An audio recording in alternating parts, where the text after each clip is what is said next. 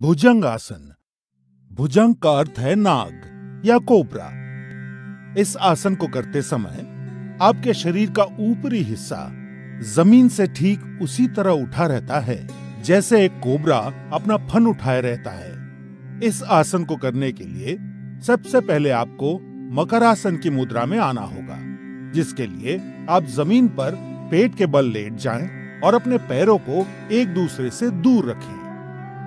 अपने माथे को अपनी हथेलियों पर रखें और अपने शरीर को आराम दें। अब मकरासन से आगे बढ़ते हुए अपने दोनों पैरों को आपस में जोड़ें और अपने हाथों को सामने की ओर खींचें। अपने माथे को ज़मीन पर रखें। अब अपनी हथेलियों को अपनी छाती के समीप रखते हुए अपनी कोहनियों को उठाएँ। एक गहरी सांस लेते हुए और अपनी ठोड़ी को ऊँचा करते हुए अपने शरीर को नाभि के हिस्से तक ज़मीन से उठाएँ। ध्यान रखें कि आपकी कोहनियाँ आपके शरीर के सीध में रहें और आपके पैर इस तरह तने हुए हो कि आपकी कमर पर अत्यधिक तनाव महसूस ना हो।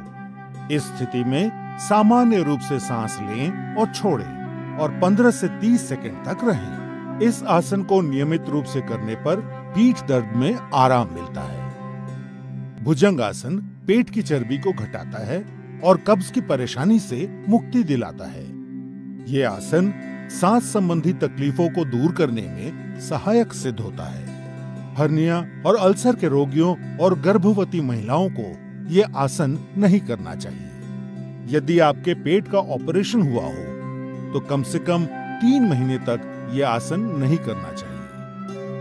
15 से 30 सेकंड इस स्थिति में रहने के बाद सांस छोड़ते हुए धीरे से अपने शरीर के ऊपरी हिस्से को नीचे लाते हुए अपने हाथों को सामने की ओर खींचे और पुनः मकरासन की मुद्रा में आने के पश्चात आरामदायक सांस लें। भुजंग आसन तनाव दूर करने के लिए सबसे उपयोगी आसन है। इस आसन को नियमित रूप से करने पर आपका तन और मन दोनों स्वस्थ रहेंगे।